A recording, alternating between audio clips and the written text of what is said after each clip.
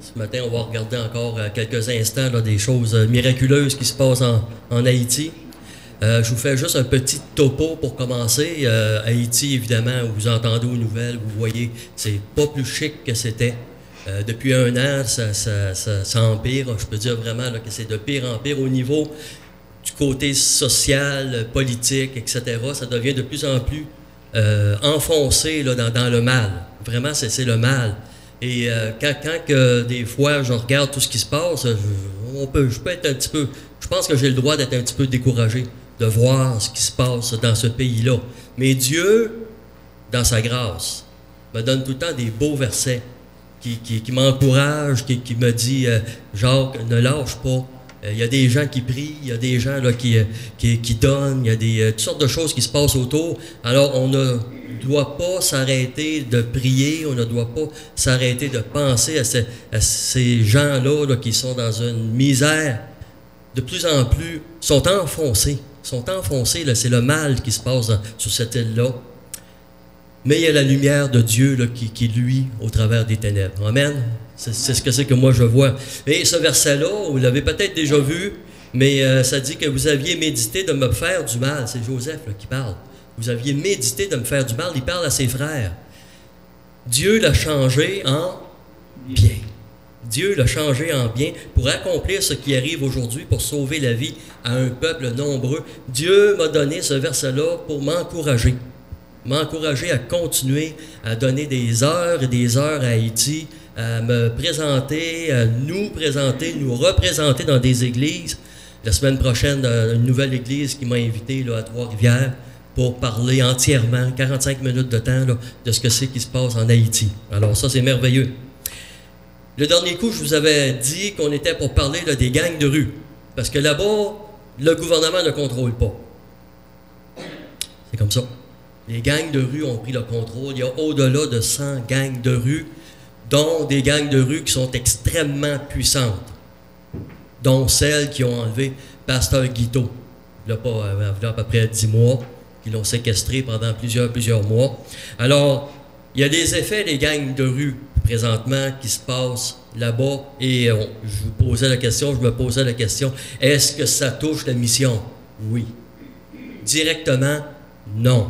Parce que notre mission est située dans la montagne. La mission est située à peu près à 20 km de Port-au-Prince, dans les montagnes, 20 km, deux heures de route. Vous comprenez? Alors, c'est quelque chose vraiment à, à penser? Les effets des gangs de rue, qu'est-ce que, qu'est-ce que ça fait? On voit les gangs de rue, il y a beaucoup de jeunes, beaucoup, beaucoup, beaucoup de jeunes qui sont enrôlés dans les gangs de rue et ça se promène avec euh, des bâtons, ça se promène avec des revolvers, ça se promène avec euh, des sabres, des, des épées, n'importe quoi, toutes les armes qui sont euh, offertes là-bas et ils contrôlent, les gangs de rue contrôlent tout ce que c'est qui arrive à Port-au-Prince. Tous les bateaux, les avions, les, euh, les conteneurs qui arrivent, ils contrôlent euh, exactement tout ce que c'est qui arrive là-bas. L'inflation, nous, euh, au Québec, au Canada, on dit c'est terrible et aussi il y a des besoins. Je ne le cache pas. Il y a des besoins au Québec, il y a des besoins à Trois-Rivières, des besoins autour de nous. On est à peu près à 8% hein, grosso modo. 32, 33 et 34% en Haïti depuis un an. Et avec un salaire qui avoisine à peu près pas grand-chose, c'est-à-dire 4 ou 5 dollars pour la majorité des 20% qui travaillent, 4 ou 5 dollars américains par jour. Vous comprenez que c'est difficile. Alors, qu'est-ce que, ça apporte? Ben, pénurie d'essence. L'essence ne rentrait pas, le propane ne rentrait pas, le diesel ne rentre pas. Et quand que les gangs de rue laissent passer ces effets-là sur l'île, ils contrôlent le prix. C'est pas le gouvernement. Rien de ça.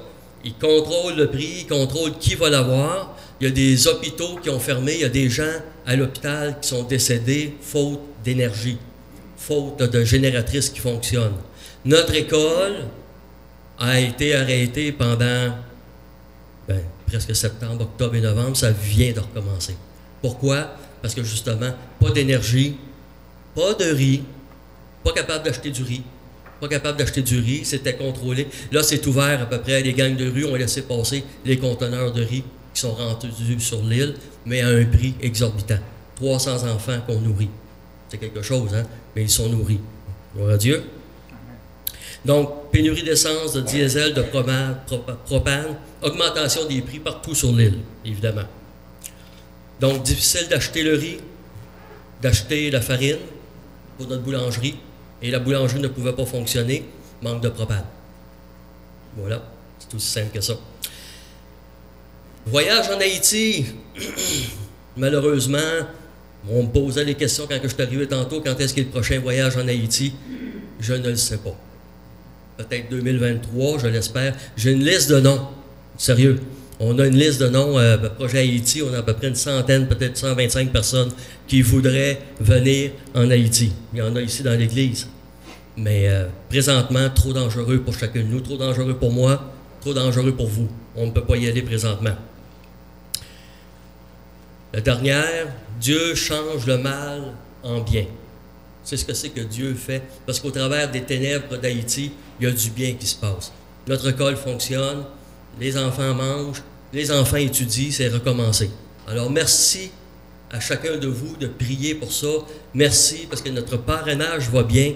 Malgré tout ce qui se passe au Québec, malgré des temps difficiles, on est présentement, on approche à 50 enfants de parrainés. Ça, c'est wow. Pour moi, c'est wow. Une petite mission qui, travaille au travers des grosses missions chrétiennes.